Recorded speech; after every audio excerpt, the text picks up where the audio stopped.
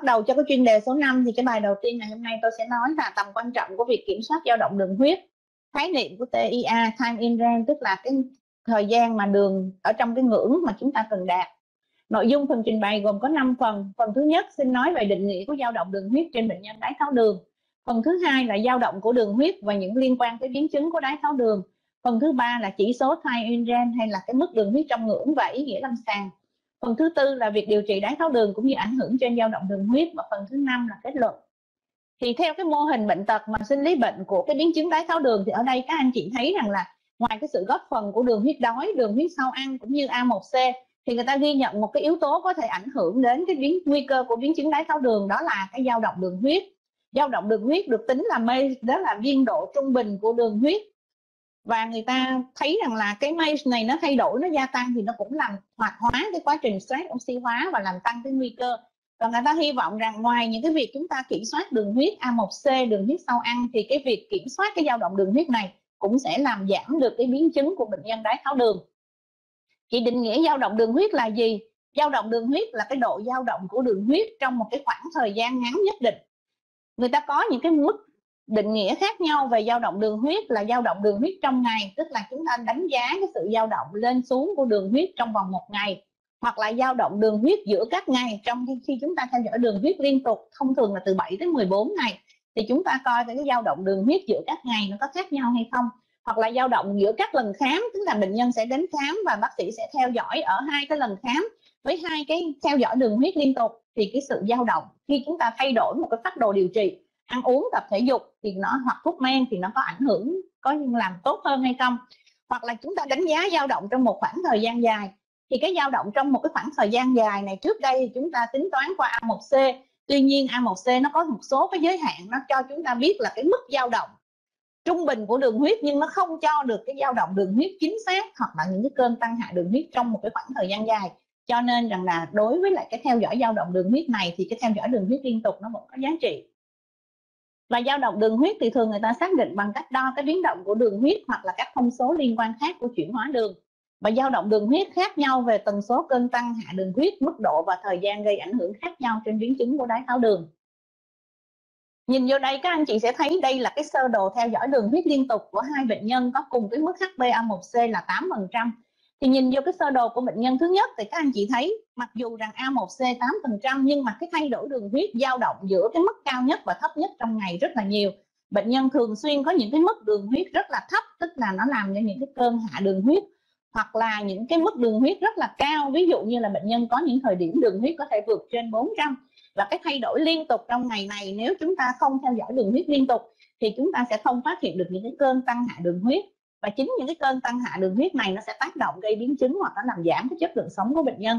Ở cái mô hình thứ hai thì các anh chị thấy rằng mặc dù HbA1c cao 8% nhưng đường huyết của bệnh nhân trong ngày dao động rất là ít. Và phần lớn các mức đường nó nằm trong cái ngưỡng mà nó không quá gây tăng hạ đường huyết hoặc giảm đường huyết. Vậy thì chúng ta thấy rằng với cùng một cái HbA1c nhưng đánh giá dao động đường huyết thì chúng ta cũng biết được là bệnh nhân này điều trị tốt hơn là ở những bệnh nhân mà cái mô hình số 1 và chúng ta sẽ phát hiện được qua cái theo dõi đường huyết này là những cái cơn hạ đường huyết, những cơn tăng đường huyết hoặc là hạ đường huyết về đêm, tức là những thời điểm mà bệnh nhân không ghi nhận được. Chúng ta có rất nhiều công thức để đánh giá cái dao động đường huyết. Tuy nhiên, các anh chị sẽ thấy rằng là cái công thức này trước đây thì người ta dựa vào cái đo đường huyết liên tục nhiều lần trong ngày, tức là chúng ta sẽ đo 7 lần, trên 7 lần thì chúng ta sẽ tính toán. Và những con số này thì nó cho chúng ta biết cái mức dao động đường huyết của bệnh nhân được sử dụng trong các nghiên cứu về ảnh hưởng của dao động đường huyết trên biến chứng và người ta thấy rằng là những cái chỉ số dao động đường huyết bây giờ được sử dụng thì nó có rất là nhiều. Và người ta sẽ thấy nó có nhiều cái lợi ích tùy theo chúng ta muốn đánh giá cái gì. Và qua theo dõi những cái dao động đường huyết này, chúng ta có thể biết được cái đường huyết trung bình ở trong ngày, giữa các ngày, hoặc là cái nguy cơ bệnh nhân có tăng hoặc hạ đường huyết. Và tùy theo cái mục đích của chúng ta mà chúng ta có các chỉ số dao động đường huyết sử dụng khác nhau. Phần thứ hai là xin nói về dao động đường huyết và biến chứng đái tháo đường chúng ta đã biết rằng là khi có dao động đường huyết, thì theo cái mô hình nghiên cứu trên phân tử, người ta thấy rằng là khi mà có sự tình trạng dao động đường huyết, thì nó sẽ kích hoạt cái protein kinase. Và protein kinase này sẽ kích hoạt qua cái NADPH oxidase phụ thuộc protein kinase. Và cái chất này nó sẽ kích hoạt cái ti thể, nó sản xuất ra thật nhiều cái superoxide và đây là những nguồn gốc của những cái chất mà nó gây ra cái tình trạng stress oxy hóa.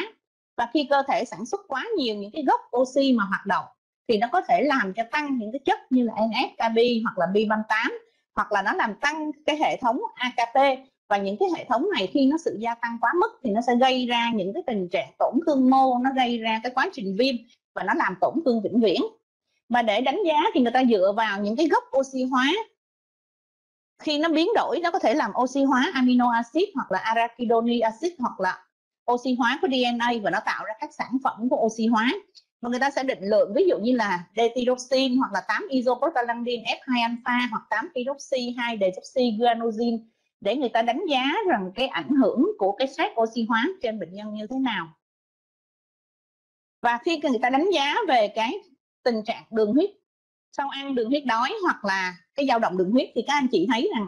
đường huyết sau ăn, đường huyết đói và dao động đường huyết đều có cái sự gia tăng của 8 isoprostaglandin 2 alpha. Và nó chứng minh rằng là ba cái yếu tố này nó sẽ góp phần vào tăng cái stress oxy hóa và nó tham gia trong cái chuyện gây ra biến chứng đái tháo đường. Còn A1C thì nó là tổng hợp ảnh hưởng của đường huyết đói và đường huyết no, cho nên rằng là khi đường huyết đói và đường huyết sau ăn mà tăng cao thì nó cũng gây ra cái tình trạng thay đổi A1C và ảnh hưởng trên cái biến chứng của đái tháo đường. Và khi có tình trạng mà stress oxy hóa hoặc là dao động đường huyết thì nó sẽ gây ra những cái tổn thương cơ quan. Thì ở đây người ta thấy nó có thể ảnh hưởng lên não, nó gây ra về giảm ý thức, nhận thức, cũng như là gây tình trạng sa sút trí tuệ. Ảnh hưởng lên tim, gây các biến chứng tim mạch, ảnh hưởng lên biến chứng mắt, ảnh hưởng lên biến chứng thận và ảnh hưởng trên biến chứng của thần kinh ngoại biên. Đồng thời, khi mà có cái dao động đường huyết quá lớn thì nó sẽ gây ra những cái cơn hạ đường huyết và cũng có thể gây ra tử vong cho bệnh nhân thông qua cái loạn nhịp tim hoặc là hạ đường huyết nặng không nhận biết và một cái nghiên cứu trên 21 bệnh nhân đái tháo đường khi người ta so sánh với 21 nhóm bệnh nhân chứng và người ta theo dõi đường huyết liên tục, người ta đo cái chất mà đánh giá cái stress oxy hóa đó là 24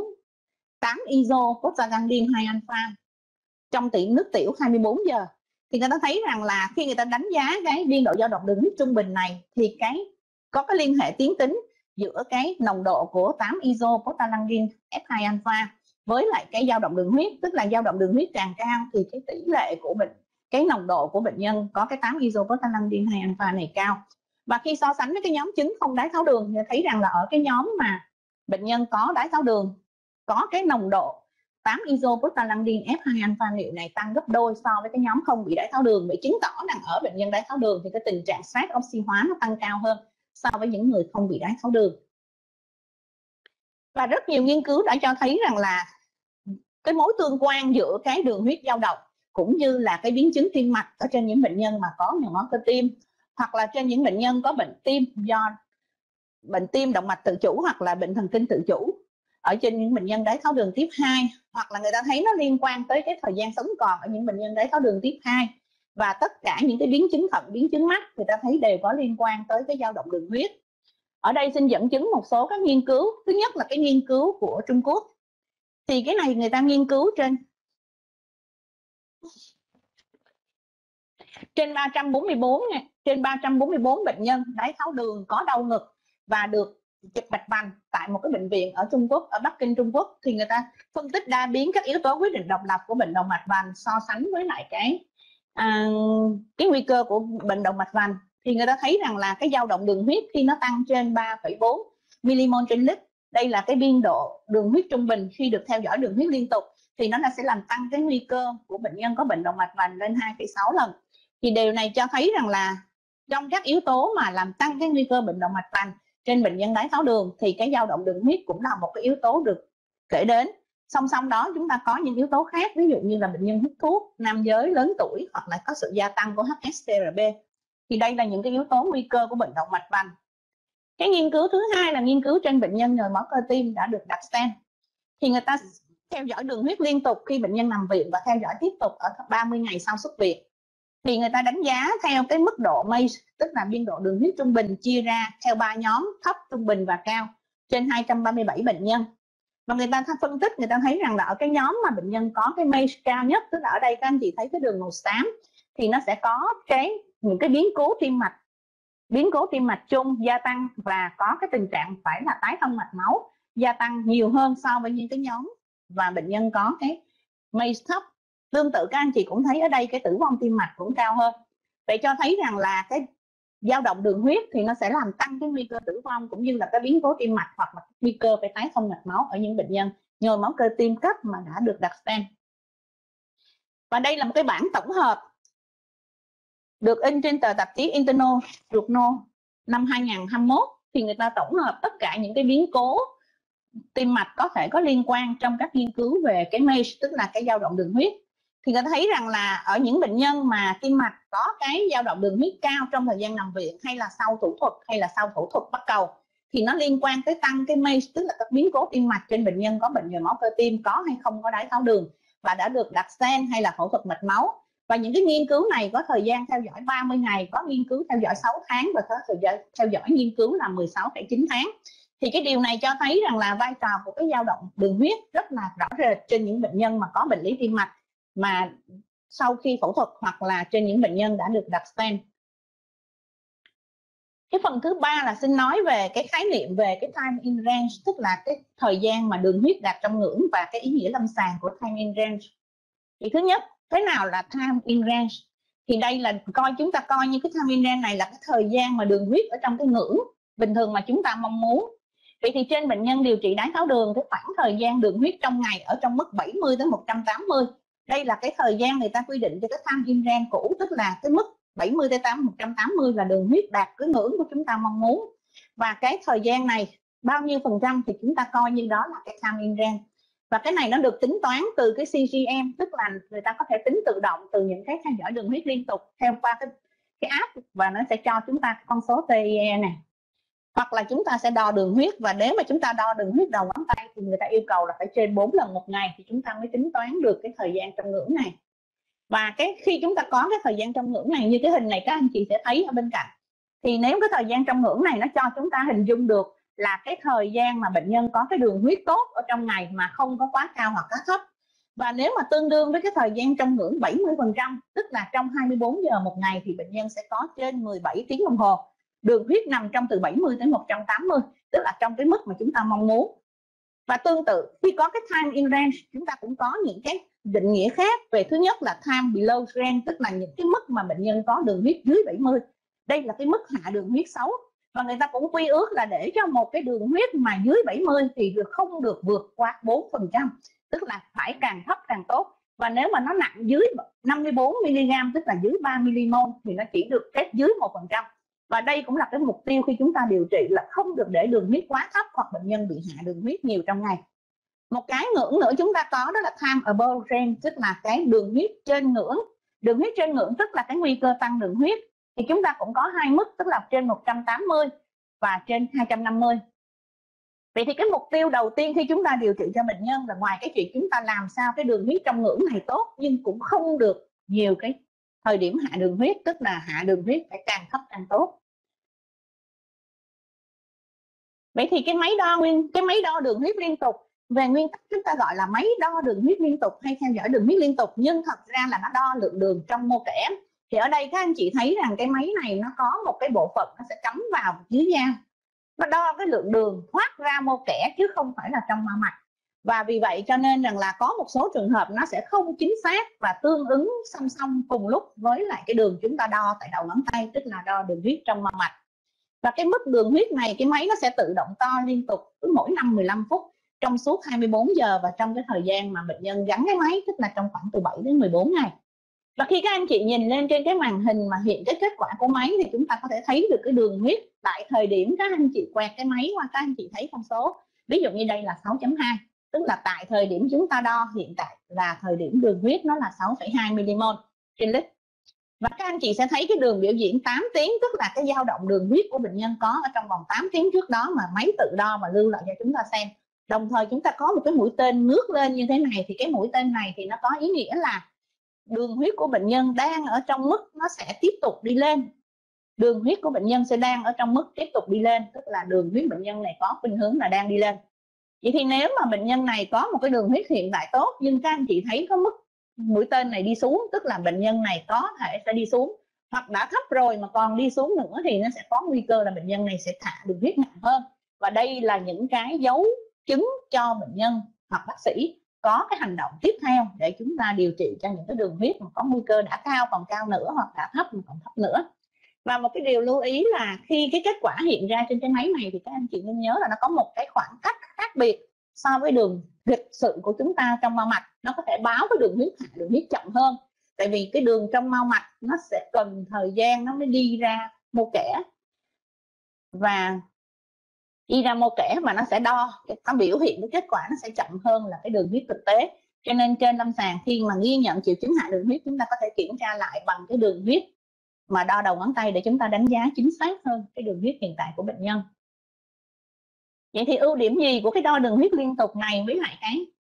với lại cái SMBG tức là đo đường huyết đầu ngón tay? Thì các anh chị thấy rằng cái đo đường huyết liên tục này nó sẽ giúp chúng ta có một cái hình ảnh về cái đường huyết dao động trong ngày tốt hơn. Ví dụ như là tại những thời điểm chúng ta đang tập thể dục, chúng ta đang lái xe, chúng ta đang ngủ thì chúng ta không thể nào thực hiện được những cái hành động là đo đường huyết đầu ngón tay. Thì trong thời điểm mà chúng ta không đo được thì đối với cái CGM tức là đo đường huyết liên tục, các anh chị vẫn có thể xem và biết được cái đường huyết hiện tại của mình. Ở trong cái thời điểm này nó là bao nhiêu? Mà các anh chị không cần phải làm một cái nghiệm pháp là chúng ta bấm ngón tay để chúng ta đo đường và cái đường huyết này nó sẽ đo liên tục rất nhiều thời điểm trong ngày, cho nên cái ảnh hưởng của ăn uống hoặc là những cái tập thể dục trên cái đường huyết này sẽ giúp cho chúng ta điều chỉnh cái lối sống tốt hơn. Và đây là bản kết quả cần có khi chúng ta có một cái theo dõi đường huyết liên tục, tức là cái bảng này nó sẽ cho chúng ta biết chúng ta đeo cái máy này bao nhiêu ngày, cái thời gian máy hoạt động đạt được bao nhiêu phần trăm. Và nó cho chúng ta những cái trung bình mà tính toán qua 14 ngày chúng ta đo máy là cái thời gian đường huyết trong ngưỡng thời gian đường huyết dưới ngưỡng và thời gian đường huyết cao trên ngưỡng. Cũng như là tính toán được cái mức đường huyết trung bình trong vòng 14 ngày của bệnh nhân, hoặc là tính tương ứng ra cái chỉ số đường huyết, cái này nó tương đương với chúng ta tính được cái A1C của bệnh nhân. Ở trong cái khoảng 14 ngày này mà chúng ta theo dõi. Vậy thì cái vấn đề kế tiếp là hiện tại, cái TIR người ta xem có thể là một cái mục tiêu để được điều trị đái tháo đường hay không? Thì nó có năm cái yếu tố mà chúng ta sẽ cân nhắc để chúng ta thấy rằng là hiện nay TIE từ từ người ta sẽ đem ra là một cái yếu tố để chúng ta coi như cái mục tiêu để chúng ta kiểm soát đường huyết. Thứ nhất là nó chính xác hơn A1C trong đánh giá kiểm soát đường huyết. Nó giúp chúng ta biết được cái dao động đường huyết của bệnh nhân tốt hơn là chúng ta nhìn một cái A1C hình dung sau 6 8 tuần thì nó chỉ cho một con số tổng quát thôi, chứ không có cái thời điểm chính xác của cái kiểm soát đường huyết của chúng ta thứ hai là từ cái TIE này chúng ta cũng có thể tính toán được cái A1C ước tính. Thứ ba là những cái nghiên cứu đã chứng minh cho thấy rằng là cái thời gian trong ngưỡng hay TIE này cũng tương quan với các biến chứng của đái tháo đường. Và khi chúng ta cải thiện được cái chỉ số TIE và chúng ta sẽ tăng cái thời gian phần trăm lên thì nó sẽ cải thiện được chi phí điều trị do nó làm giảm những cái hạ đường huyết. Và chúng ta sử dụng cái đo đường huyết liên tục, chúng ta cũng cải thiện được cái kiểm soát đường huyết và giảm những cái tình trạng hạ đường huyết nặng và ngày nay người TIE đang được cân nhắc xem như là mục tiêu thay thế A1C trong điều trị đái tháo đường. Thì chúng ta đi xem từng phần, chúng ta sẽ thấy ví dụ cái TIE nó phản ánh tốt hơn cái dao động đường huyết hoặc là kiểm soát đường huyết ở trên bệnh nhân đái tháo đường như thế nào. Thì ở đây các anh chị thấy rằng là với cùng một cái mức A1C 7% nhưng mà đo đường huyết trong ngày thì chúng ta thấy rằng là chúng ta có ba cái dao động đường huyết khác nhau. Cho nên là A1C thì không phản ánh được các thay đổi đường huyết trong ngày. Ví dụ như ở đây đầu tiên các anh chị sẽ thấy rằng là cái dao động đường huyết chúng ta có cái thời gian trong ngưỡng chỉ đạt 40 phần trăm. Vậy thì bệnh nhân có 40 phần trăm cái mức đường huyết nó sẽ cao hơn cái ngưỡng chúng ta muốn và 20 phần trăm nó sẽ thấp hơn. Tức là bệnh nhân này có những cái cơn tăng đường huyết và giảm đường huyết, mặc dù A1C bệnh nhân vẫn là 7 phần trăm. Ở cái nhóm thứ hai, chúng ta có cái hình thứ hai là đạt được 70 phần trăm cái thời gian trong ngưỡng, tức là đa phần cái thời gian, hay là chúng ta nói 17 17 giờ trên 24 giờ của bệnh nhân là thời gian đường huyết đạt trong cái mức chúng ta mong muốn và có 25% thì nó vượt ra ngoài cao hơn và 5% thì thấp hơn cái ngưỡng mong muốn. Và cái mục tiêu cuối cùng chúng ta làm sao mà 100% cái đường huyết trong ngưỡng như là cái hình số 3 thì đây là cái mức rất là tốt, tức là bệnh nhân đường huyết hoàn toàn trong cái mức chúng ta kiểm soát tốt và không có cái tình trạng đường huyết quá cao hoặc là đường huyết thấp gây hạ đường huyết. Vậy thì chúng ta thấy rằng với một cái A1C thì nếu chúng ta không theo dõi đường huyết, chúng ta sẽ không có một cái hình dung và cũng không có đánh giá được là bệnh nhân của chúng ta thật sự là tốt hay là đường huyết quá xấu. Ví dụ như là cái phần đầu tiên, cái ca đầu tiên chúng ta thấy rằng là cái thời gian bệnh nhân có cái đường huyết quá cao, quá thấp, nó nhiều, tương đương như là thời gian đường huyết thử và cái phần trăm mà TIA hay là cái cái mức mà đường huyết trong ngưỡng càng cao thì bệnh nhân sẽ có cái dao động đường huyết càng thấp. Thì đó là cái mục tiêu mà chúng ta đạt được khi điều trị là chúng ta phải tăng cái thời gian trong ngưỡng, tức là cái TIR phải cao hơn, càng cao càng tốt. Vậy thì cái hạn chế của A1C là gì mà chúng ta muốn thay thế? Thì thứ nhất là chúng ta thấy rằng A1C nó chỉ cho chúng ta cái mức đường trung bình trong 2-3 tháng mà không có cho được cái dao động đường huyết trong ngày. Không phát hiện được tình trạng hạ đường huyết hay tăng đường huyết hàng ngày. Và trên những bệnh nhân mà có bất thường, ví dụ như thiếu máu, có bệnh lý hemoglobin, thiếu sắt hoặc mang thai thì chúng ta không thể dùng A1C để chúng ta đánh giá chính xác cái kiểm soát đường huyết và nếu mà các anh chị muốn thay đổi một chế độ ăn, một cái kiểm soát tập thể dục hoặc một cái thuốc gì đó, ví dụ như mới tăng liều, chết liều, giảm liều insulin, thì các anh chị không thể nào chờ A1C để các anh chị biết được là nó biến đổi như thế nào. Nhưng mà đối với lại cái theo dõi đường huyết liên tục thì nó sẽ cho chúng ta những cái thay đổi nhanh chóng mà chúng ta có những kế hoạch phù hợp để chúng ta tiếp tục hoặc là thay đổi. Và nếu mà các anh chị có một cái A1C thì các anh chị cũng không biết là chúng ta nên điều chỉnh cái gì. Nhưng mà đối với cái dao động đường huyết và cái theo dõi đường huyết liên tục thì các anh chị biết rằng là bệnh nhân có những thời điểm nào tăng đường huyết, giảm đường huyết. Và các anh chị nên điều chỉnh cái thuốc như thế nào hoặc chế độ ăn hoặc tập thể dục để tránh những cái cơn hạ đường huyết. Cũng như là điều chỉnh lại chế độ ăn để không tăng quá cao đường huyết sau ăn hoặc điều chỉnh thuốc để giảm những cái thời điểm mà bệnh nhân có đường huyết quá cao, vân vân. Cho nên rằng là cái hạn chế của A1C thì nó không cho chúng ta nên điều trị, điều chỉnh cái phát đồ như thế nào. Nhưng đối với cái theo dõi đường huyết hoặc là cái thời gian trong ngưỡng, cái TIA thì các anh chị sẽ đánh giá được cái phát đồ và chúng ta nên điều trị làm sao để giảm cái hạ đường huyết và giảm cái thời điểm tăng đường huyết về cái nghiên cứu giữa cái mối liên quan giữa cái TIA và cái biến chứng đái tháo đường thì người ta phân tích trên nghiên cứu DCCT thì cái nghiên cứu này các anh chị biết rất là nổi tiếng can thiệp trên cái người đái tháo đường mới để chẩn đoán có ai nhóm điều trị tích cực và điều trị theo quy ước thì các anh chị thấy rằng trong cái nhóm điều trị theo quy ước thì chỉ có 31% là cái thời gian trong ngưỡng đạt có 31%, trong khi cái nhóm chúng ta điều trị tích cực thì cái thời gian trong ngưỡng này chúng ta đạt được 52%. thì điều này cho thấy rằng nếu chúng ta điều trị tích cực ở trên bệnh nhân đái tháo đường tiếp 1 trong nghiên cứu DCCT thì cái thời gian trong ngưỡng này cao hơn. Vậy thì này nó có ý nghĩa gì trên cái biến chứng? Thì khi người ta thấy rằng là khi chia ra các mức về cái thời gian trong ngưỡng cái TIA này ở các nhóm 70 từ 60 70 50 60 và tới 10% thì các anh chị thấy cái tỷ lệ bệnh nhân có biến chứng đáy mắt, võng mạc, nó tương quan với cái TIA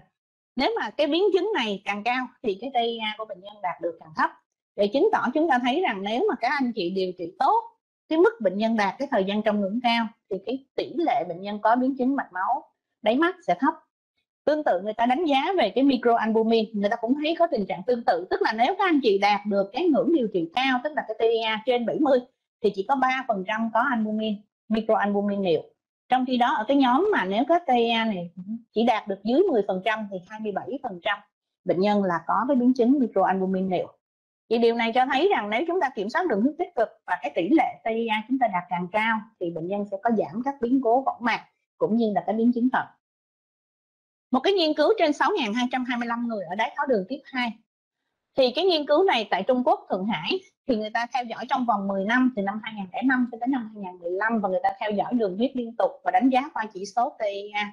và người ta theo cái thời gian đánh giá cái tỷ lệ sống còn và phân tích làm hai nhóm nhóm tử vong mọi nguyên nhân và nhóm tử vong do bệnh lý tim mạch. Thì người ta thấy rằng là ở những cái nhóm mà bệnh nhân có cái TIA mà càng thấp, thì cái thời gian, cái tỷ lệ bệnh nhân sống còn càng thấp và cái tự bệnh tử vong do mọi nguyên nhân cũng như tử vong do tim mạch cao hơn so với cái nhóm mà đạt được cái mức TIA trên 85 thì điều này cũng cho thấy rằng nếu trong vòng 10 năm mà những bệnh nhân được điều trị tốt và cái thời gian trong ngưỡng của bệnh nhân cao thì nó cũng có cái tiên lượng làm giảm cái tử vong tim mạch cũng như tử vong mọi nguyên nhân ở trên bệnh nhân đái tháo đường tiếp 2 và vì vậy chúng ta thấy rằng là TIA nó có cái mối tương quan với cái biến chứng trên bệnh nhân đái tháo đường tiếp 2 và người ta thấy cứ mỗi 10% chúng ta tăng cái TIA lên thì chúng ta sẽ giảm được 40% cái microalbumin liệu và 64% cái biến chứng thận à, biến chứng đáy mắt.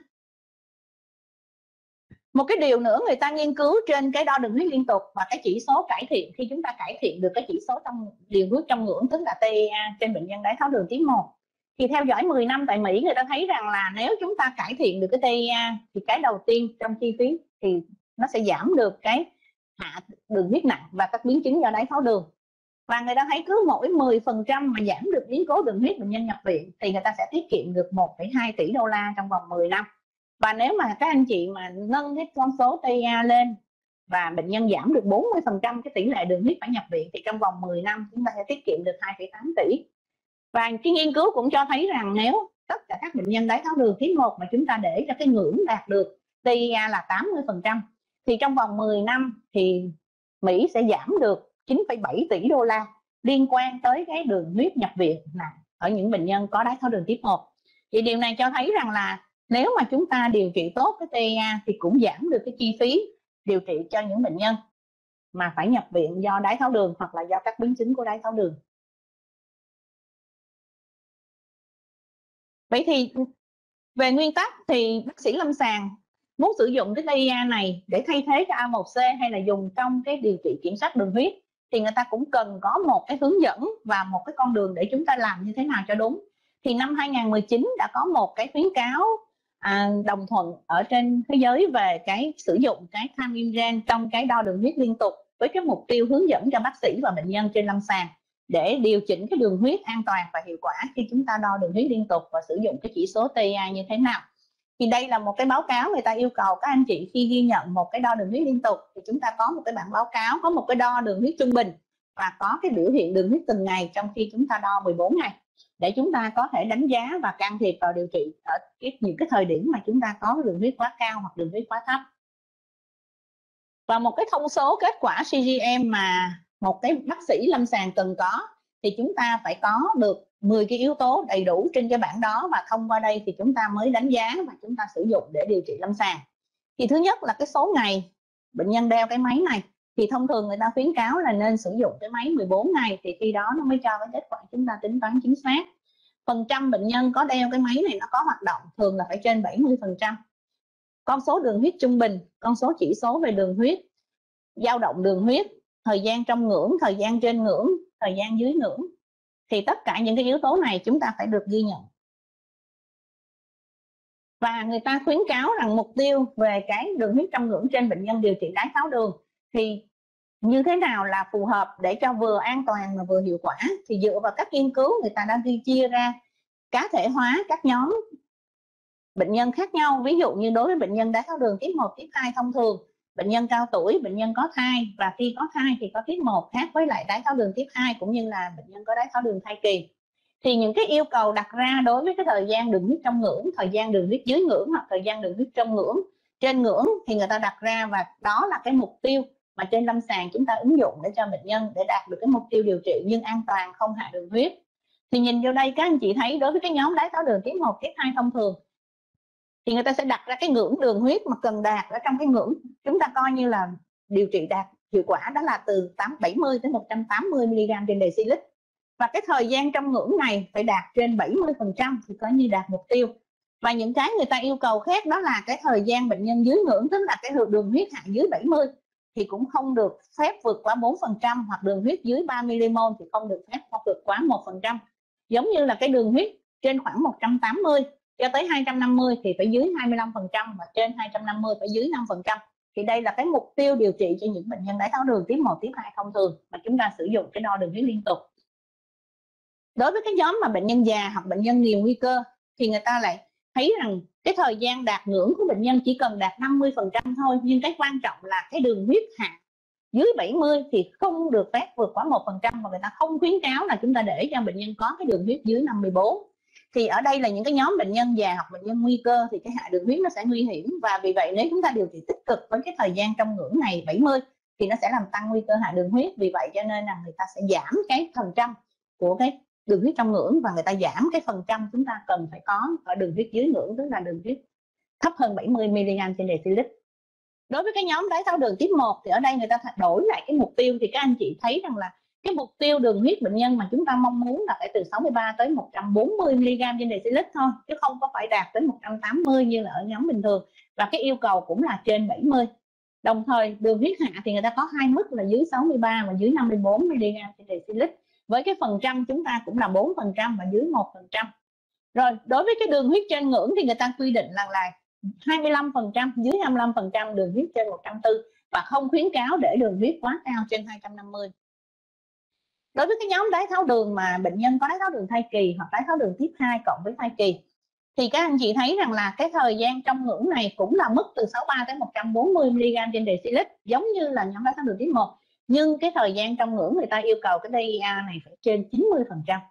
để cho thấy rằng là đối với cái nhóm này thì cái mục tiêu kiểm soát đường huyết chặt chẽ hơn và cái 90% này thì mới là cái mục tiêu chúng ta mong muốn để đạt được cái kết quả tốt nhất trong thai kỳ cho cái nhóm đái tháo đường tiếp hai hoặc bệnh nhân có đái tháo đường thai kỳ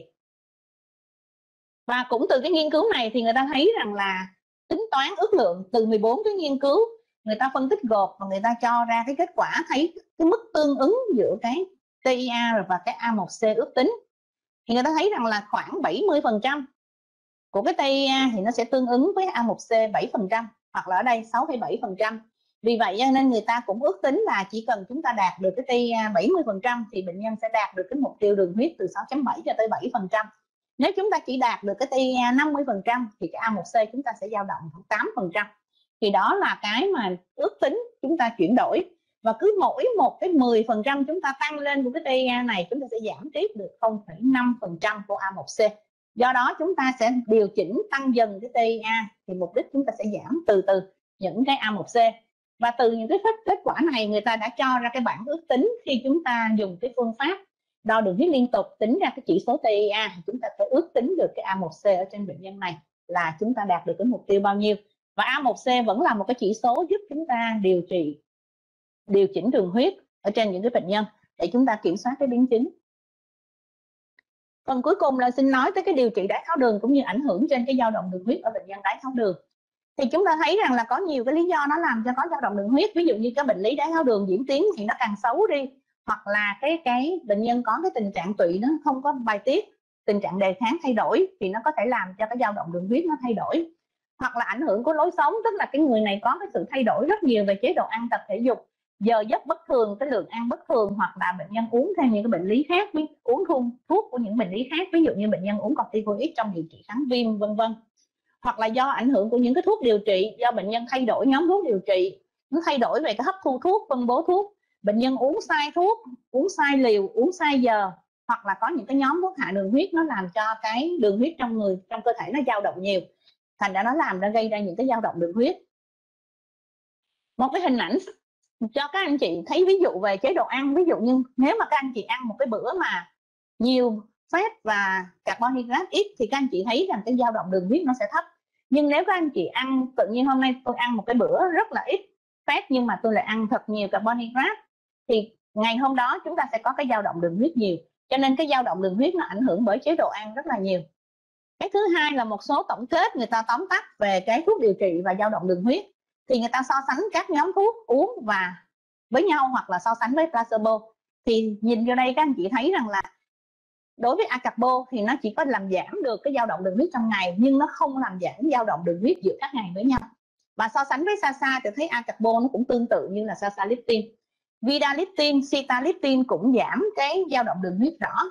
Và đối với cái nhóm đồng vận GB1 liratulai thì người ta thấy rằng là dùng đơn độc thì nó không làm giảm cái dao động đường huyết nhưng khi kết hợp với insulin thì nó làm giảm dao động đường huyết rõ hơn khi chúng ta dùng insulin đơn độc. Và cái dapa liposine thì nó cũng làm giảm cái dao động đường huyết khi so sánh tương tự như sasalitin và chúng ta sẽ nói như về cái insulin và dao động đường huyết. Thì chúng ta thấy rằng là nếu mà chúng ta điều trị liều insulin càng cao, thì cái dao động đường huyết nó sẽ càng lớn. Thì đó là cái điều đầu tiên liên quan với insulin và dao động đường huyết. Thứ hai là người ta so sánh các nhóm thuốc, thì người ta thấy rằng là nếu mà các anh chị dùng cái insulin loại nhanh asparglizine hay lispro, so sánh với exenatide là một cái đồng vận GM1 thì người ta thấy rằng là cái dao động đường huyết ở cả cái nhóm nhanh này so với exenatide thì không có khác biệt, tức là không có sự cải thiện về cái dao động đường huyết ở hai nhóm. So sánh lispro và cái insulin lactin thì thấy rằng là nếu dùng insulin lactin đơn độc thì nó dao động đường huyết sẽ kém hơn nếu các anh chị phối hợp thêm bệnh nhân có insulin lactin thêm lispro vào trước bữa ăn thì nó sẽ là giúp dao động đường huyết. Thì cái này các anh chị hiểu rằng là khi chúng ta dùng những cái loại premix hoặc là chúng ta dùng những cái loại mà có insulin nhanh so với insulin nền đơn độc thì nó sẽ giảm được cho chúng ta cái đường huyết sau ăn. Và chính vì vậy cho nên cái dao động đường huyết nó sẽ cải thiện tốt hơn là chúng ta chỉ dùng cái insulin nền thông thường. Những cái insulin nền tác dụng dài analog thì người ta so sánh với ditemir riêng hoặc là lactin với lại những cái điều trị căn bản thì ta thấy rằng là nếu mà thêm insulin nền thì nó sẽ làm giúp cái dao động đường huyết tốt hơn là điều trị cái thông thường không có insulin nền. Và ditemir với lactin thì cái giảm cái dao động đường huyết của hai nhóm thuốc này là không có sự khác biệt đối với cái nhóm phối hợp giữa cái insulin nền và cái cái đồng vận GLP-1 thì người ta thấy rằng là khi so sánh giữa cái phối hợp của GLP-1 và cái insulin nền Deludex thì nó sẽ làm giảm cái dao động đường huyết tốt hơn là khi chúng ta dùng Deludex đơn độc hoặc là Liraglutide đơn độc. Tương tự với lạc riêng cũng vậy, nếu chúng ta phối hợp thêm cái đồng vận CB1 thì nó sẽ làm giảm cái dao động đường huyết tốt hơn là chúng ta dùng lạc riêng đơn độc. Và khi so sánh các nhóm insulin nền với nhau thì người ta thấy rằng là những cái insulin nền analog nó có cái hấp thu ổn định, thì cái dao động đường huyết nó sẽ ổn định hơn là ở những bệnh nhân mà có cái sự hấp thu thay đổi giữa các ngày. Thì ở đây các anh chị thấy trên một cái nghiên cứu người ta chích cho những bệnh nhân cùng một cái liều ở những cái ngày khác nhau thì cái hấp thu khi đo được cái insulin trong máu đối với NBH các anh chị thấy là có sự khác biệt rất là nhiều. Ở đây là ba bệnh nhân người ta so sánh về cái cùng với cái liều insulin, chích cùng thời điểm thì các anh chị thấy cái hấp thu thay đổi. Đối với lạc riêng thì cũng có cái sự thay đổi tương đối. Ít hơn là NBH nhưng cũng có những cái ngưỡng thay đổi khác nhau giữa các đường. Các anh chị thấy giữa các ngày với nhau. Nhưng khi chúng ta sử dụng ditamir thì các anh chị thấy hầu như là cái dao động đường huyết này, cái hấp thu nó ổn định và cái khi đó thì chúng ta thấy rằng là những cái thuốc mà nó hấp thu ổn định thì cái dao động đường huyết nó sẽ ít hơn là những cái hấp thu không ổn định giữa các ngày và người ta thấy rằng là cái thay đổi của cái NBH giữa các ngày là 68% so với lạc 48% thì đối với ditamir nó chỉ có 27% vì vậy cho nên đối với những bệnh nhân mà chúng ta muốn điều chỉnh cái dao động đường huyết thì chúng ta có thể chọn những cái loại insulin analog mới mà nó có cái hấp thu ổn định ở trên cùng một bệnh nhân giữa các ngày. Một cái insulin analog mới chúng ta có nữa đó là insulin Deludex. Đây là một cái insulin có thời gian bán huyễn dài 25,4 giờ so với insulin lạc riêng và chúng ta thấy rằng là sau khi chích một cái liều insulin Deludex cho bệnh nhân, thì sau 3 ngày thì bệnh nhân sẽ đạt được cái liều ổn định và ở cả bệnh nhân tiếp 1 và tiếp 2 trong nghiên cứu. Khi so sánh giữa cái sự ổn định ở những bệnh nhân được sử dụng insulin Deludex và insulin lạc riêng thì các anh chị thấy rằng là cái sự hấp thu của cái insulin Deludex và lạc riêng khi theo dõi trong vòng 24 giờ ở những bệnh nhân mà sử dụng Deludex và đặc riêng thì cái nồng độ của insulin trong máu của Deludex tương đối là ổn định trong suốt ngày, trong khi lạc riêng có những cái đỉnh hấp thu và có những thời điểm giảm hấp thu. Thì chúng ta thấy rằng là cái dao động của cái insulin lạc riêng trong ngày nó cũng là một cái yếu tố nó có thể làm cho cái đường huyết của bệnh nhân nó dao động nhiều. Vì chúng ta hiểu rằng khi chúng ta sử dụng insulin nền thì mục đích của chúng ta là muốn có sự hấp thu ổn định và nó kiểm soát cái đường huyết đói ổn định. Còn nếu insulin nền mà có đỉnh hoặc có sự hấp thu không ổn định, tức là có những thời điểm tăng hấp thu so với những thời điểm giảm hấp thu, thì nó sẽ làm cho cái dao động đường huyết nó xảy ra. Và chính vì vậy người ta thấy rằng là cái dao động đường huyết của Deludex,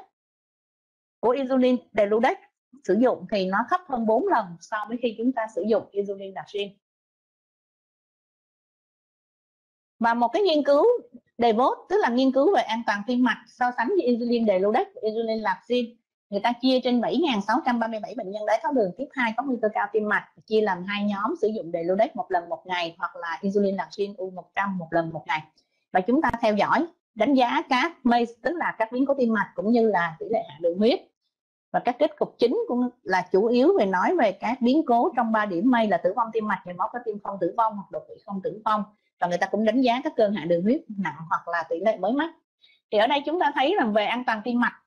thì các biến cố về tim mạch ở hai nhóm sử dụng Deludex và sử dụng lạc riêng thì khác biệt không có ý nghĩa thống kê. Tức là nói chung rằng là hai nhóm thuốc Deludex và lạc riêng đều an toàn trên những bệnh nhân đái tháo đường thứ hai có nguy cơ cao. Tuy nhiên, khi người ta phân tích về hạ đường huyết thì các anh chị thấy rằng là do Deludex nó có hấp thu ổn định, cái dao động đường huyết nó thấp hơn cho nên tần số biến cố hạ đường huyết nặng cũng như là những cái biến cố hạ đường huyết về đêm, nó giảm 40% và 54% khi chúng ta so sánh với lạc riêng trên hai nhóm bệnh nhân. Và chúng ta thấy rằng là cái số bệnh nhân cần điều trị để giảm được một ca hạ đường huyết nặng khi chúng ta dùng Delodex là chỉ có 40 bệnh nhân. Thì điều này nó lại chứng minh một điều là nếu chúng ta sử dụng những cái insulin mà có cái hấp thu ổn định, thì cái đường huyết nó sẽ không dao động nhiều và cái nguy cơ hạ đường huyết ở những bệnh nhân mà sử dụng insulin nó sẽ thấp hơn là những cái nhóm mà đường huyết hấp thu có sự dao động nhiều. Và trong những nghiên cứu đề vốt này, người ta cũng phân tích ra làm ba cái nhóm có dao động đường huyết khác nhau, tức là dao động đường huyết thấp, dao động đường huyết trung bình và dao động đường huyết nhiều. Và người ta đánh giá về cái tỷ lệ bệnh nhân có hạ đường huyết nặng hoặc là những cái yếu tố nguy cơ trên mây, ví dụ như tử vong tim mạch nhồi máu cơ tim không tử vong hoặc là đột quỵ không tử vong, hoặc là tử vong do mọi nguyên nhân. Ở cả ba nhóm thì ở đây các anh chị thấy rằng là hầu như ở cái nhóm mà có cái dao động đường huyết thấp trên 2.528 bệnh nhân này thì cái tỷ lệ bệnh nhân có các biến cố thấp hơn khi các anh chị so sánh với cái nhóm mà bệnh nhân có cái dao động đường huyết cao. Thì ở đây các anh chị thấy cái hạn đường huyết nặng ở đây tỷ lệ ở bệnh nhân có cái nhóm mà dao động đường huyết thấp chỉ là 1,69 nhưng mà ở cái nhóm mà bệnh nhân có cái dao động đường huyết nhiều thì nó đạt tới 5 thì là nó sẽ gấp 3 lần. Thì để cho các anh chị thấy rằng là ở những bệnh nhân mà cái dao động đường huyết nhiều thì nó sẽ làm tăng cái nguy cơ hạ đường huyết nặng, cũng như là tăng các biến cố tim mạch, cũng như là tử vong do mọi nguyên nhân. Một cái nghiên cứu khác là người ta so sánh ở cái nhóm sử dụng aspart ở trên đái tháo đường tiếp 1 và người ta dùng cái insulin mà dạng hít ở trên nhóm bệnh nhân đái tháo đường tiếp 1 và được theo dõi đường huyết liên tục, tính cái chỉ số TIA thì ở đây người ta không so sánh về hiệu quả của hai nhóm thuốc mà người ta so sánh về cái tuân thủ thuốc thì người ta thấy rằng nếu một bệnh nhân mà sử dụng cái insulin dạng hít mà tuân thủ tốt 100% thì chúng ta sẽ đạt được cái TIA là 66,2% nhưng nếu mà chúng ta cho bệnh nhân sử dụng nhưng chỉ có 56% bệnh nhân tuân thủ tỷ lệ tuân thủ thấp thì cái TIA chúng ta sẽ đạt được thấp. Và ở đây chúng ta sẽ thấy rằng là cái hiệu quả của chúng ta đạt được trên cái TIA tương quan với những cái tuân thủ thông thường chúng ta điều trị ở đây thì nó sẽ khoảng 60% bệnh nhân đạt, nhưng nếu bệnh nhân tuân thủ tốt thì chúng ta sẽ đạt được hơn 66% và bệnh nhân tuân thủ kém thì chỉ đạt được khoảng 40%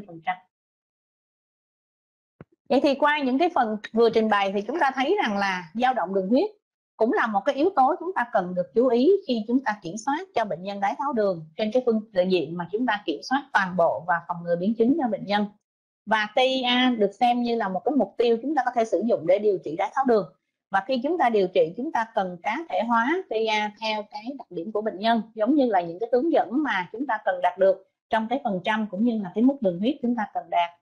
Và khi mà chúng ta điều trị thì cái cải thiện được cái chỉ số đường huyết trong ngưỡng TIA sẽ giúp chúng ta giảm được cái hạt đường huyết, giảm được cái biến chứng đái tháo đường cũng như là chi phí điều trị cho bệnh nhân. Và trong các loại insulin khi chúng ta khởi trị thì insulin nền Deridex sẽ giúp chúng ta giảm cái dao động đường huyết, giảm được hạ đường huyết nặng cũng như là tử vong do hạ đường huyết bài trình bày đến đây là hết xin cảm ơn sự chú ý theo dõi của các anh chị các quý vị đồng nghiệp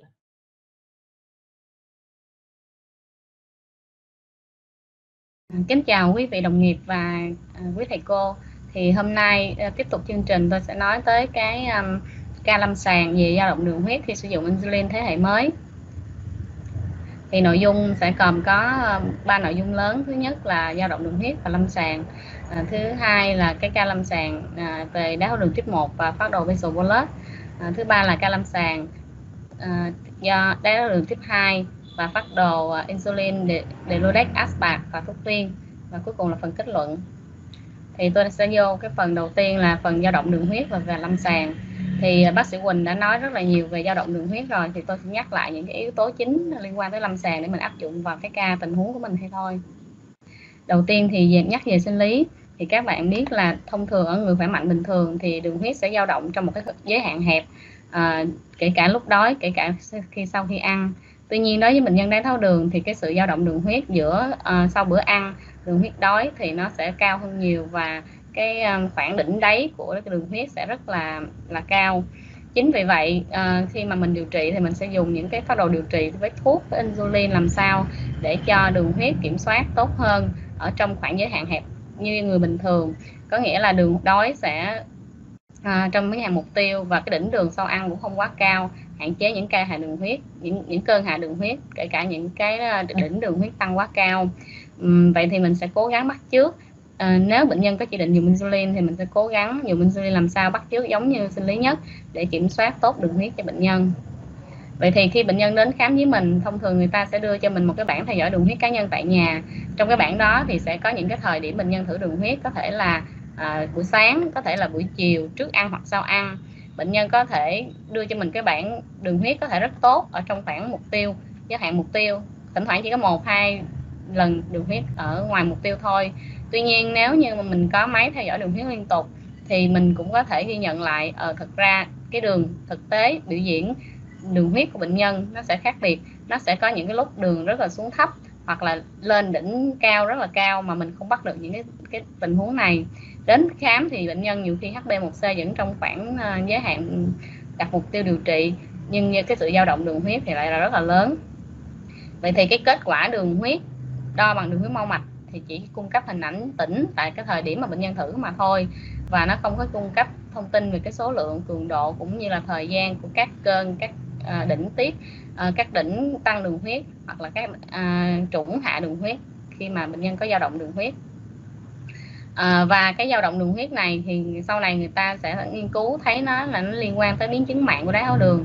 càng lúc càng nhiều nhất là biến chứng mạch máu nhỏ và nó độc lập với lại cái sự kiểm soát đường huyết của HB1C có nghĩa là nếu mà HB1C thậm chí có tốt đi chăng nữa mà dao động đường huyết lớn thì cái biến chứng cũng có thể xuất hiện thì đây là trong cái nghiên cứu về à, biến chứng đáy mắt và biến chứng à, à, uh, uh, tiểu albumin ở thận. Thì uh, khi mà uh, cái chỉ số đường huyết trong mục tiêu á, nó lớn hơn 70% thì cái biến chứng nó thấp. Tuy nhiên nếu như cái thời gian uh, đường huyết đạt mục tiêu nó cao uh, nó nó thấp à, ví dụ như cái time in range ở cái trường hợp mà nhỏ hơn 10% thì cái biến chứng mạch máu nhỏ ở mắt Ờ, biến chứng đáy mắt nó có thể chiếm tới 58% tương tự như vậy cho bệnh nhân có biến chứng uh, tiểu đạm ở thận. Chính vì vậy thì cái time in range giống như bác sĩ Quỳnh đã nói đó là cái chỉ số đánh dấu sự dao động đường huyết và nó liên quan với lâm sàng rất là chặt chẽ.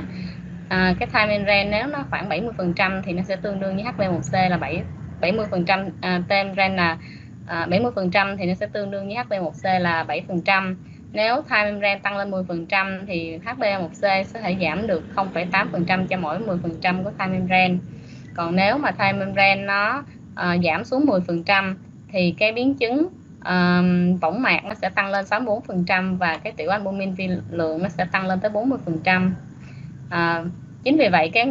cái chuyện mà kiểm soát được dao động đường huyết ở bệnh nhân đái tháo đường thì rất là quan trọng. Vậy thì những cái nguyên nhân chính gây ra dao động đường huyết là những nguyên nhân nào? Thì uh, khi mà quan sát lâm sàng thì người ta nhìn nhận thấy rằng ví dụ như chế độ ăn của bệnh nhân chưa đúng bệnh nhân ăn không có ờ, đều đặn có khi bỏ bữa ăn có khi thì ăn quá nhiều tạo nên cái đỉnh đường huyết sau ăn và những cái lúc nhịn đói thì cái cái đỉnh đỉnh đáy nó quá xa. À, cái phát đồ điều trị chưa đúng chưa phù hợp hoặc là mình dùng thuốc chưa đủ liều hoặc mình cho chỉ định nhưng mà bệnh nhân lại bỏ hoặc quên uống thuốc quên tiêm insulin mình có thể chọn các loại thuốc hoặc tiêm insulin cho bệnh nhân chưa phù hợp đặc điểm cá nhân của mỗi bệnh nhân hoặc bệnh nhân có thể mắc bệnh cấp tính có có stress hoặc là có dùng thuốc bê tăng đường huyết như là corticoid vân vân thì nó cũng sẽ làm tăng đường huyết. Ngoài ra các nguyên nhân khác mà mình ít quan tâm hoặc là hay bỏ sót là ví dụ như bệnh nhân có loại dưỡng mô mỡ ở vị trí tiêm insulin nó tạo thành những cái ờ, khoang trống chứa insulin trong đó thì ờ, khi mà bệnh nhân tiêm vào thì lúc đầu lại uh, thiếu insulin tại vì nó không hấp thu được sau đó khi mà cái khoang trống nó, nó lại phóng thích nhiều vào máu thì nó lại là gây ra những cơn hạ đường huyết gây rối loạn đường huyết rất là lớn trên lâm sàng. Hoặc là một cái rất hay gặp tuy nhiên hay lại bị bỏ sót là kỹ thuật tiêm insulin sai. Insulin nó không vào người đầy đủ à, hoặc là bệnh nhân tiêm quá liều so với chỉ định của bác sĩ. Thì à, mình sẽ phải kiểm tra hết những cái vấn đề này à, để mình quyết định coi là cái dao động đường huyết của bệnh nhân là do nguyên nhân nào gây ra và mình có cái hướng xử trí thích hợp à, đó là những cái ý chính về cái dao động đường huyết liên quan tới lâm sàng mà mình cần để, phải để ý. Vậy thì tôi sẽ đi vào cái ca lâm sàng đầu tiên à, là một cái ca bệnh nhân đái tháo đường tuyếp 1 và cái phát đồ điều trị phù hợp cho bệnh nhân là phát đồ nào thì mình sẽ bàn luận sau đây. Thì đây là một bệnh nhân nữ 36 tuổi. Thì cách 6 tháng nhập viện cách 6 tháng cho đến lần khám này thì bệnh nhân chẩn đoán là à, được chẩn đoán là hôn mê nhiễm cetonaxid đái tháo đường tiếp 1 sảy thai trọn trên tay 6 tuần à, khi đó sau khi xuất viện thì bệnh nhân được uh, tiêm insulin ờ, uh, remix hai lần một ngày uh, được hướng dẫn chỉnh đường huyết và đi tái khám thì bác sĩ cũng chỉnh đường huyết cho bệnh nhân. À, rồi sau đó bệnh nhân được chuyển sang chế độ basal bolus à, insulin lulicin là 6 đơn vị 3 lần một ngày và insulin lạc xuyên là 14 đơn vị một ngày. Bệnh nhân này thì vì là trẻ và có kiến thức cho nên người ta rất là tuân thủ chế độ ăn vận động thể lực và tuân thủ cái chế độ điều trị à, tuy nhiên dù cái à, tiêm theo chế độ nào thì đường huyết cũng rất là dao động trong ngày. À, có khi cao có khi thấp. Điều này làm cho bệnh nhân rất là mệt mỏi. Bệnh nhân sụt tới 8 kg sau khi chẩn đoán tháo đường. À, bệnh nhân thường xuyên mất ngủ vì những cơn hạ đường huyết về đêm. Bệnh nhân phải thức dậy để ăn và làm cho bệnh tâm lý bệnh nhân rất là bất ổn lo lắng suốt 6 tháng. Thì à, đây là các bạn theo dõi đường huyết cá nhân của bệnh nhân ở nhà đường huyết buổi sáng đói à, cũng rất là dao động ờ, có khi thì rất là tốt nhiều 123 nhưng mà có những cái buổi sáng dậy thì đường rất là cao tới 280 mấy. À, đường sau ăn thì luôn luôn cao ha và đường nửa đêm thì rất là thường xuyên có những cơn hạ đường huyết nửa đêm làm cho bệnh nhân đói phải giật mình dậy ăn lúc khoảng từ 1 tới 3 giờ sáng. À, thì khi bệnh nhân đến với mình như cái uh, bệnh sử và một cái bản theo dõi đường huyết cá nhân như thế này à, đặc biệt là cái chế độ điều trị đã thay đổi rất là nhiều mà vẫn chưa phù hợp thậm chí là đang dùng basal bolus luôn mà bệnh nhân vẫn rất là đường huyết rất là lớn. Thì chúng tôi quyết định là đặt một cái máy theo dõi đường huyết cái, à, liên tục cho bệnh nhân.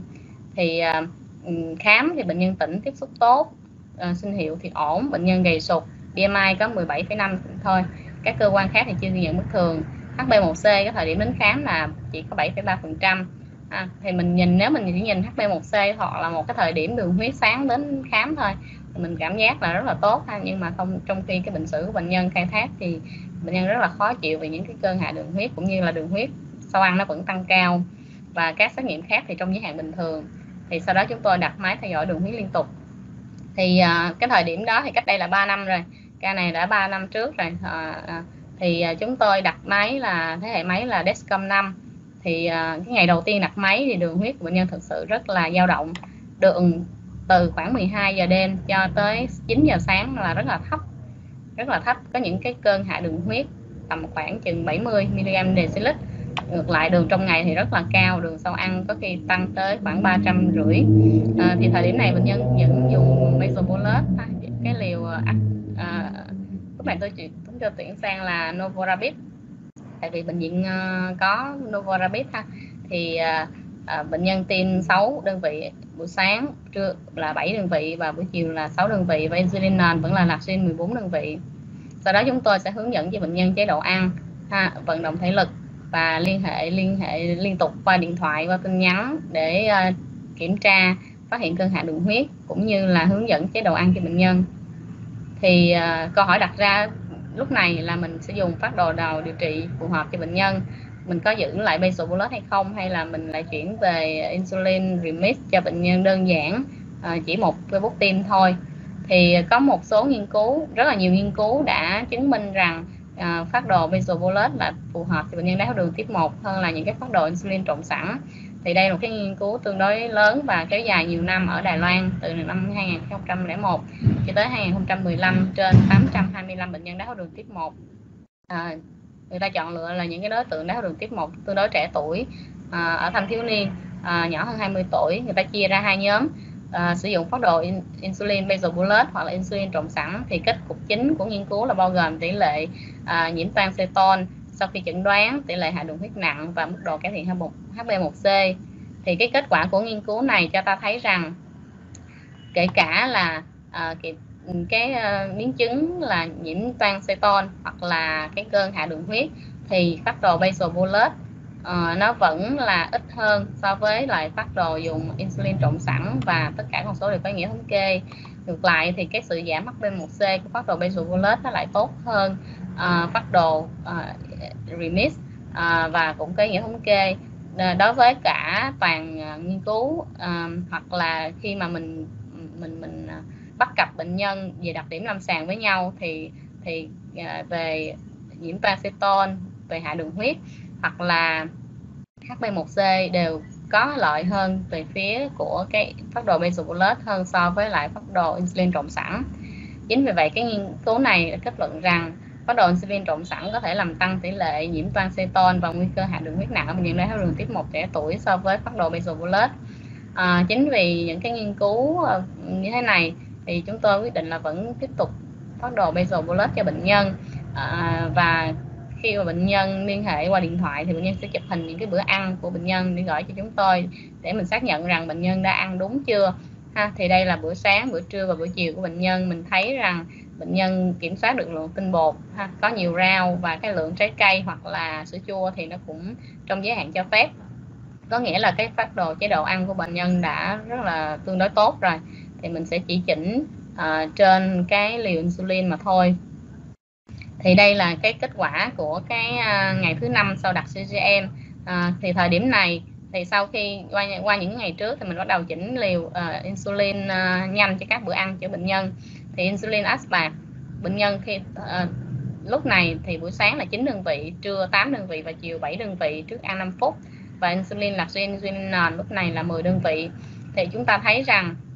à, đường huyết của bệnh nhân tương đối tốt hơn nhiều so với ngày đầu tiên. Đỉnh đường huyết sau ăn hiện tại chỉ còn cao nhất là khoảng 200 200 đơn vị à, 200 mg/dl mà thôi. À, không có các cơn hạ đường huyết nặng về đêm nữa. Chỉ có một cái lần hạ được đường huyết nó chạm mức khoảng 78 mg trên dl ở khoảng lúc à, 2 giờ sáng. Cũng chấp nhận được và bệnh nhân không có phải thức và dậy giật mình thức dậy khi mà bệnh nhân cảm thấy đói vã mồ hôi và tương đối là những cái đường huyết nó nó, nó cũng dao động trong cái khoảng chấp nhận của bệnh nhân. À, thì hiện tại sau 3 năm điều trị thì bệnh nhân đã biết tự đếm carbohydrate. Bệnh nhân chỉnh được liều aspart bệnh nhân biết à, ăn món ăn nào thể tích bữa ăn như thế nào vận động cỡ nào thì đường huyết nó sẽ dao động cỡ nào. Và bệnh nhân sẽ tự hiệu chỉnh cái insulin aspart này cho mỗi bữa ăn và hiện tại HB1C cho lần khám gần nhất trước dịch của bệnh nhân là 6,1%. À, HB1C tương đối tốt và bệnh nhân không có cái cơn hạ đường huyết nào cả. Bệnh nhân bây giờ đã thấy cái sự lợi ích của máy à, theo dõi đường huyết liên tục. Bệnh nhân có thể biết là ở mình nhạy cảm món ăn ra sao, mình chỉnh insulin rất là dễ khi mà đặt CGM. Cho nên bệnh nhân chủ động là mỗi năm gắn CGM một tới hai đợt để theo dõi đường huyết và hiệu chỉnh lại cái liều insulin à, của bệnh nhân sau sau thời gian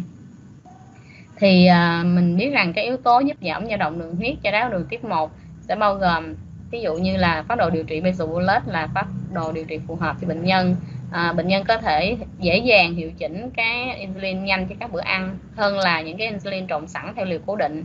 à, giúp kiểm soát đường huyết tốt hơn và tránh hại đường huyết. À, bệnh nhân cũng phải nên được cá nhân hóa việc chỉnh liều insulin cho cả insulin nền và insulin nhanh cho các bữa ăn những cái loại insulin nền phù hợp cho bệnh nhân đái tháo đường tiếp 1 là những cái loại insulin tác dụng kéo dài trên 24 giờ và không có đỉnh à, bắt chước sinh với lại sinh lý của mình. Đồng thời cũng phải hướng dẫn cho bệnh nhân chế độ ăn phù hợp cách đếm carbohydrate để bệnh nhân tự điều chỉnh liều insulin nhanh và CGM là một công cụ hiệu quả để giúp chỉnh liều đường huyết à, điều chỉnh thói quen và thái độ của bệnh nhân. Ừ, bệnh nhân sau khi hiểu được cái lợi ích của CGM thì người ta rất là hợp tác điều trị và người ta sẽ đạt được cái mục tiêu điều trị tốt hơn vậy thì uh, mình đã nhắc tới cái insulin non là một cái một cái cũng là một cái uh, công cụ hiệu quả để kiểm soát đường huyết và bắt buộc phải có ở bệnh nhân đái tháo đường tiếp 1 vậy thì cái đặc điểm lý tưởng của insulin non bao gồm rất là nhiều. Ha trong đó những cái chính ví dụ như là tác dụng phải là liên tục 24 giờ không có đỉnh tỷ lệ đường hạ đường huyết của thuốc phải phải thấp kiểm soát đường huyết thì phải hiệu quả và thuốc cũng ít gây ảnh hưởng đến tăng cân hay giảm cân cũng không ảnh hưởng là tim mạch phải tác động tương tự insulin nội sinh. Bệnh nhân dễ thao tác dễ thực hiện và chỉ tiêm một lần trong ngày và chỉnh liều cũng dễ. Đây là những cái mình mong muốn cho một cái insulin nền. Vậy thì trên thị trường bây giờ những cái insulin nền hồi xưa thì mình dùng NPH insulin người. Tuy nhiên à, nó có đỉnh và cái thời gian tương đối ngắn phải tiêm hai lần một ngày mới đủ để phủ cho insulin nền cả ngày. Thì sau này những cái insulin analog tác dụng kéo dài um,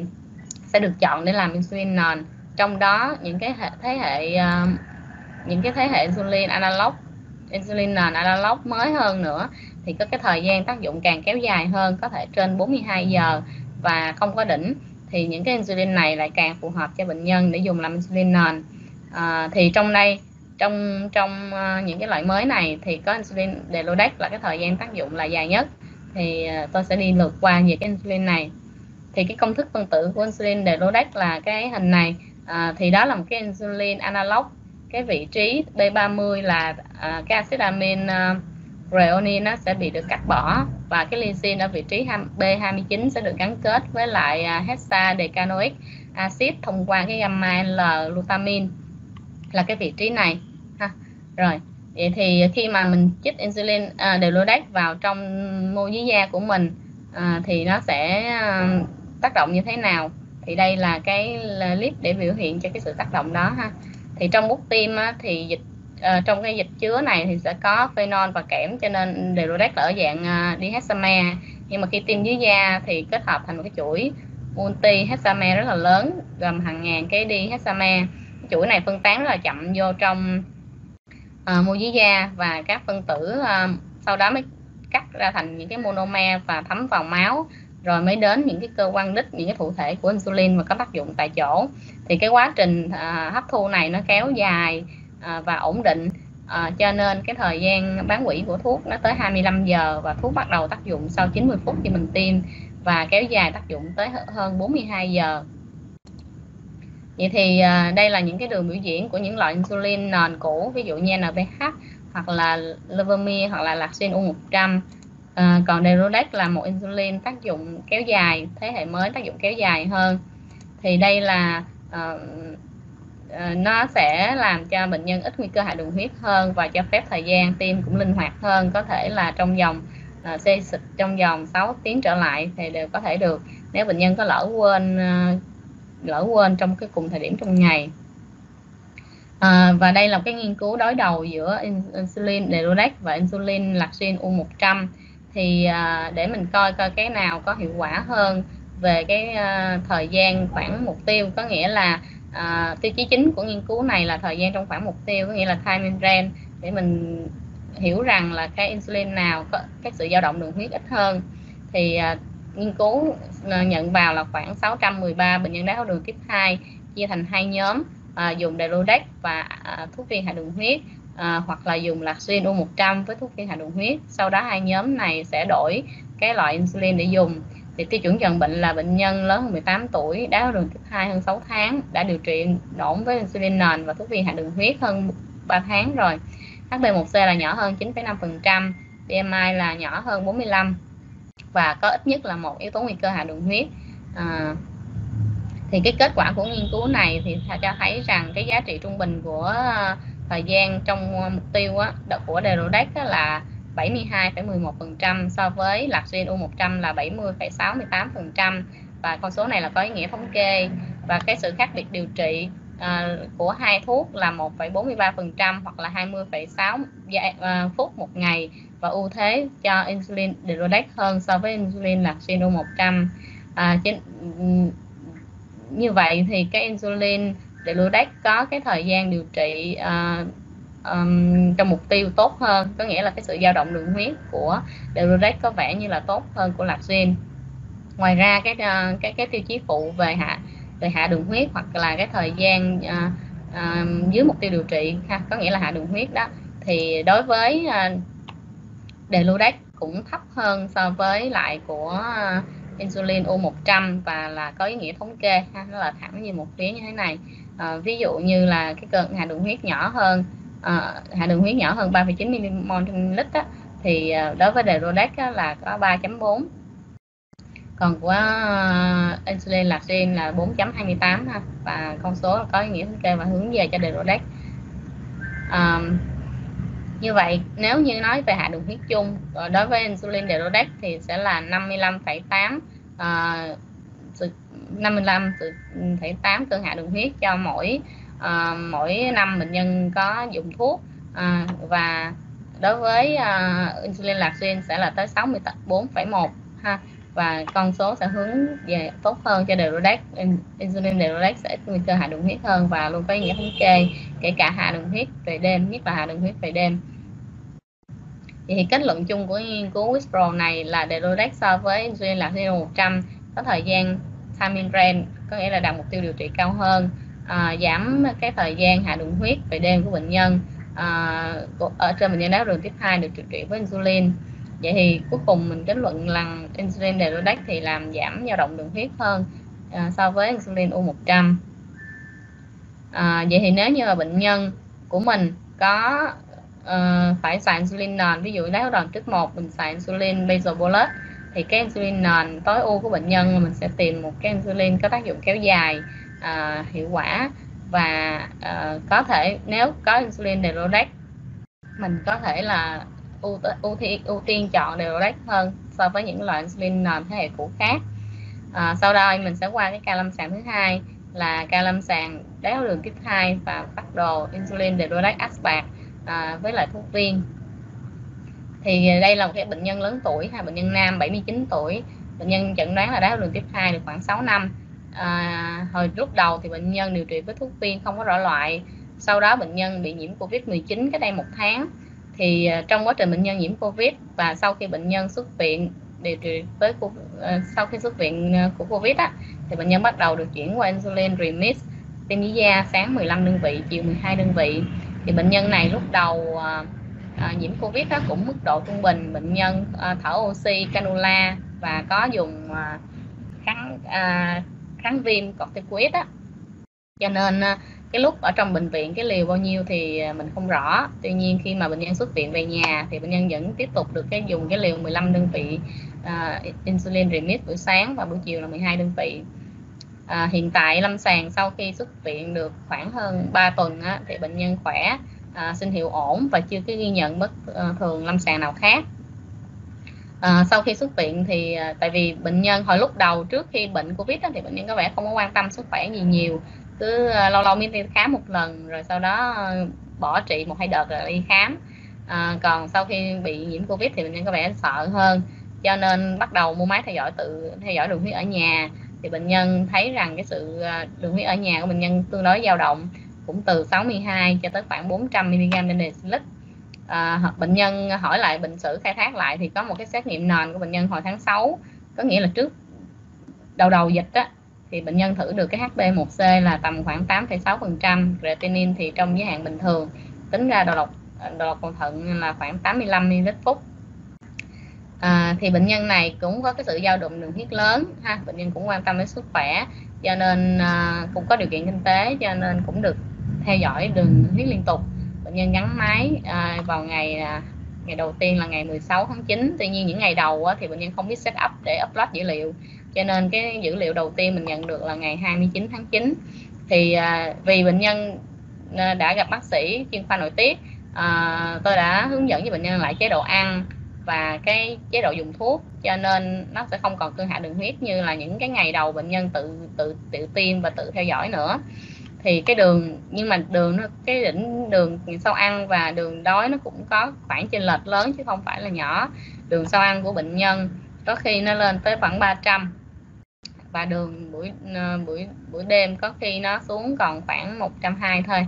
À, thì à, lúc này thì mình sẽ hướng dẫn là chế độ ăn vận động thể lực phù hợp cho bệnh nhân thay đổi điều trị. Vì bệnh nhân này đái tháo đường mới 6 năm thôi. Trước đó dùng thuốc viên mà kiểm mà chưa kiểm soát được chế độ ăn tốt gì hết mà HB1C cũng khoảng 8,6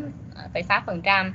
Cho nên tôi nghĩ rằng bệnh nhân này vẫn có thể dùng thuốc viên và insulin nền à, một mũi được.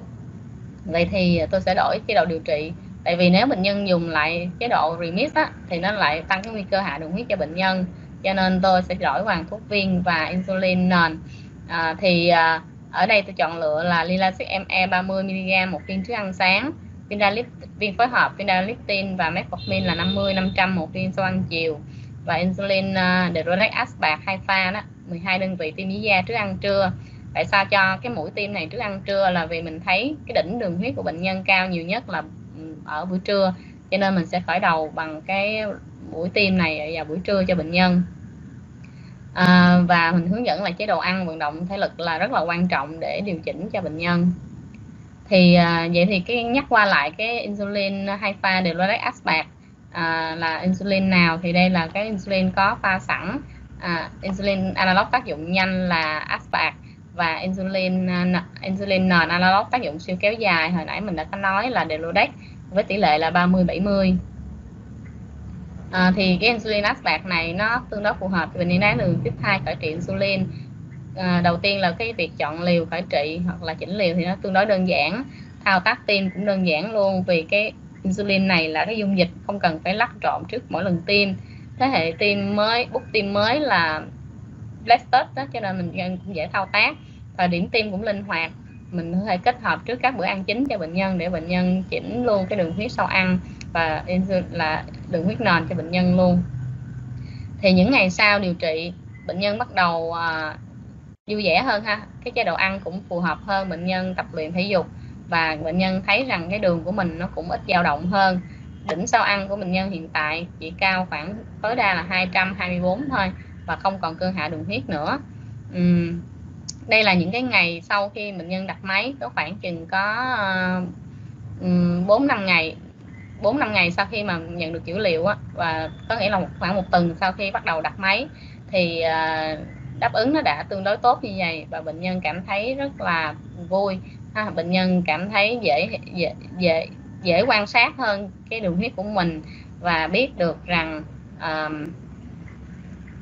và biết được rằng ăn cái món ăn nào thì đường dao động như thế nào bệnh nhân cũng dễ chỉnh được cái chế độ ăn cho mình. À, và đây là cái thế hệ tại vì hồi, à, hồi xưa đã xài à, cái cái ca lâm sàng đầu tiên á, là xài máy Dexcom. Thời điểm đó thì cái thời cái time in brand và những cái số liệu thống kê nó chưa được đầy đủ rõ ràng như bây giờ. Bây giờ thì à, máy à, thế hệ mới cái bệnh nhân thứ hai này là xài máy của Abbott là Freestyle á. À, thì cái máy này nó sẽ cho mình số liệu thống kê rất là đầy đủ. Thì à, bệnh nhân này cái thời gian trong mục tiêu của bệnh nhân là từ 70 tới 180 là time in range của bệnh nhân nó đạt được 56 phần trăm. À, thời gian hạ đường huyết là không có trong vòng 2 tuần ngắn máy. Thời gian đường huyết trên 250 mg decilit á, là 9%, à, thời gian cao thời gian đường huyết cao từ 181 tới 250 là khoảng 35%. à, vậy thì câu hỏi đặt ra là bệnh nhân có time in range như thế này thì nó đã đạt mục tiêu điều trị hay chưa thì mình sẽ coi lại ha. thì có cái sự tương quan giữa HB1C và thời gian time in range um, trên nhiều đối tượng kể cả đường tiếp 1 hoặc tiếp 2 um, bệnh nhân của mình có cái time in range là tầm một khoảng uh, 56 phần trăm thì nó rơi vào khoảng HB1C thì tương ứng khoảng 7,8 phần trăm. Vậy thì mình biết rằng cái bệnh nhân um, của mình là bệnh nhân lớn tuổi đái đường 6 năm um, chưa có thấy bệnh nền gì quá đáng kể. À, thì cái HB1C bệnh nhân này mình có thể giữ mục tiêu là tầm khoảng 7 tới 7,5 phần trăm cũng cũng chấp nhận được. Hoặc tối ưu hơn mình có thể đưa xuống là 7 phần trăm còn riêng về à, diễn giải cái dữ liệu CGM á, thì đồng thuận quốc tế á, người ta đưa ra những cái mục tiêu riêng biệt về time and range cho từng đối tượng khác nhau. Ví dụ như là đái tháo đường tiếp 1, tiếp 2 chung thì cái time and range thường là sẽ là lớn hơn 70 phần trăm. Đối với những người lớn tuổi nguy cơ cao thì có thể cái time and range mình đưa xuống thấp hơn khoảng 7 50 phần trăm thôi là đạt mục tiêu rồi. Bệnh nhân đái đường thai kỳ đái tháo đường thai kỳ hoặc đái đường thai thai mang thai mang thai hoặc là đáy đường tiếp một mang thai thì cũng có khoảng thời gian time in range khác nhau. Và ngoài ra là những cái mục tiêu phụ khác như là thời gian ở trên mục tiêu ha, à, hoặc là thời gian dưới mục tiêu của từng đối tượng cũng khác nhau. Vậy thì đối với bệnh nhân này của mình thì cũng coi như là tương đối chấp nhận được. À, mỗi lần gia tăng 5% taminran thì có liên quan tới những lợi ích đáng kể về mặt lâm sàng cho bệnh nhân đáy đường tiếp 1, tiếp 2 thì điều này mình đã à, biết qua cái bài của bác sĩ Quỳnh rồi vậy thì bệnh nhân này à, mình mới gắn máy được thì ở đường huyết liên tục có hai tuần thôi và bệnh nhân cũng mới chỉnh liều gần đây. Cho nên cái việc mà mình quyết định tăng giảm liều mình chắc mình phải theo dõi tiếp. À, hiện tại đánh giá sơ bộ thì tạm thời là mình sẽ giữ nguyên liều cho bệnh nhân vì đã đạt được mục tiêu cá nhân rồi. Vậy thì khi nào thì mình sẽ chỉnh liều? À, mình có thể tặng cộng thêm hai đơn vị. À, nếu như bệnh nhân chưa đạt được mục tiêu điều trị hoặc là mình giảm hai đơn vị nếu như mà thấp hơn thấp hơn mục tiêu điều trị. À, cái việc chỉnh liều này dựa vào ba giá trị đường huyết đói thấp nhất trước đó mình phải cá nhân hóa mục tiêu đường huyết đói. Mình không có tăng liều khi nghi ngờ có hạ đường huyết hay là có triệu chứng của hạ đường huyết. À, khi tiêm hai lần một ngày thì nên chỉnh liều trong từng mũi tiêm trong quá trình chỉnh liều hàng tuần dựa theo cái bản theo dõi đường huyết cá nhân của bệnh nhân. Vậy thì bây giờ cái uh, tiếp cận điều trị đái tháo đường dần dần thay đổi hồi xưa thì mình sẽ quan trọng nhiều với HB1C tuy nhiên sau này cái cái cái, cái uh, time in trend à, ha, TRA này, này nó càng có giá trị nhiều hơn mình phải quan tâm hơn nữa. Ừ, cái sự dao động đường huyết thì có thể là rất là lớn trong khi H1C thì bình thường. Vậy thì mình phải điều chỉnh luôn cả cái time in range này. Thì hiện tại là các những cái hội các cuộc họp về hội đồng thuận quốc tế về time in range cũng đang diễn ra. Và uh, các quốc gia cũng đang dần thay đổi theo chiều hướng này với các lộ trình khác nhau. Các guideline hướng dẫn điều trị cũng dần quan tâm nhiều hơn với cái thời gian trong mục tiêu. Vậy thì đến phần kết luận thì uh, tôi có những cái kết luận chính sau đây. Thứ nhất là dao động đường huyết là một vấn đề cần quan tâm và cần điều chỉnh cho bệnh nhân đái tháo đường để tránh gánh nặng cho nhiều biến chứng. À, mình phải lựa chọn phác đồ điều trị phù hợp cho bệnh nhân. Bệnh nhân là đái tháo đường tiếp 1 là đái tháo đường tiếp 2 hay như thế nào thì mình phải cá thể hóa điều trị cho từng bệnh nhân và luôn luôn hướng dẫn chế độ ăn theo dõi đường huyết cho bệnh nhân chế độ vận động thể lực. Đối với đáy đường tiết 1 thì mình có thể dùng uh, phát đồ basal bolus thì khi đó mình sẽ dễ hiệu chỉnh uh, insulin cho từng bữa ăn và insulin nền hơn. Hơn là mình dùng một cái insulin pha sẵn thì khi đó mình rất là khó chỉnh liều cho bệnh nhân thì nguy cơ hạ đường huyết hoặc là kiểm soát đường huyết nó sẽ kém hơn. Còn đáy đường tiếp 2 thì tùy tình huống là insulin nền có thể thuốc viên hoặc là insulin um, uh, à, à, hai nhiều mũi một ngày thì mình cũng sẽ có cái hướng điều trị và chỉnh liều cho bệnh nhân. À, CGM máy theo dõi đường huyết liên tục là một công cụ hiệu quả giúp phát hiện dao động đường huyết. Các chỉ số về time in range là mục tiêu mới cần đạt ở bệnh nhân đái tháo đường ngoài cái chỉ số HB1C và các loại insulin analog thế hệ mới có hiệu quả điều trị tốt giúp cải thiện à, dao động đường huyết cho bệnh nhân kể cả đái tháo đường tiếp 1 và đái đường tiếp 2 à, bài của báo nói của tôi đến đây là hết. À, xin cảm ơn quý đồng nghiệp đã lắng nghe.